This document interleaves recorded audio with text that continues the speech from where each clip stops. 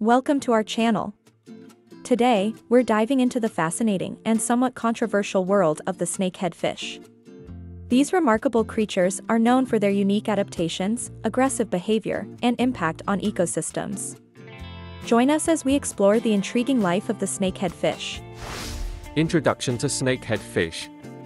Snakehead fish belong to the family Channidae and are native to parts of Africa and Asia. With their elongated bodies, sharp teeth, and ability to breathe air, they are truly unique among freshwater fish.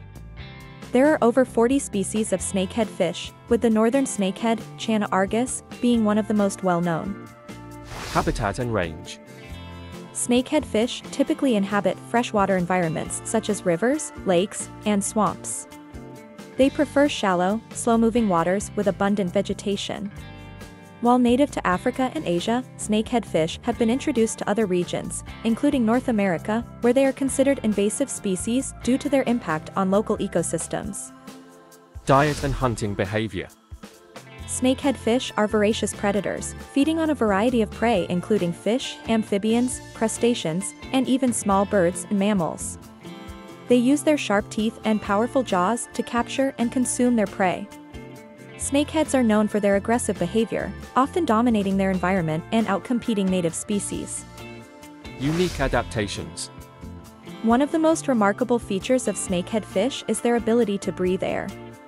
They possess a specialized organ called the suprabranchial chamber, which allows them to extract oxygen from the air.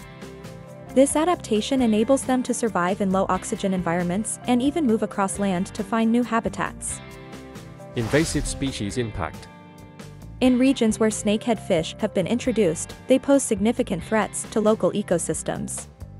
Their aggressive nature and high reproductive rate allow them to outcompete native species, leading to declines in biodiversity.